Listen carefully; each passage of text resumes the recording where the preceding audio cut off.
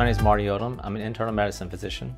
I've been a physician for 23 years. The services we offer here at Jackson Purchase Medical Center primary care is general primary care, including treatment of hypertension, high cholesterol, diabetes, and various other preventive care. The reason I became a physician, well, there's many, but one of the biggest ones is try to make a difference in people's lives and try to give them the proper health care they, they deserve. What I love about practicing medicine is I love to try to get people to do the right things for their body, for their health, to make their own decisions that's good for their body and their health. And I really like to get people off a lot of medications they don't need to be on if they do make all the right choices in their health.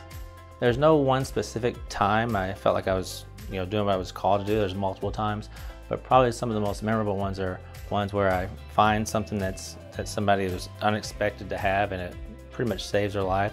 That really gives you a good feeling and makes you want to keep going. In our office, what we like to offer and can offer is good, compassionate care, and we like to think we go above and beyond in communication and doing what's right for the patients. I'm Dr. Marty Odom, and you can count on me for your health care.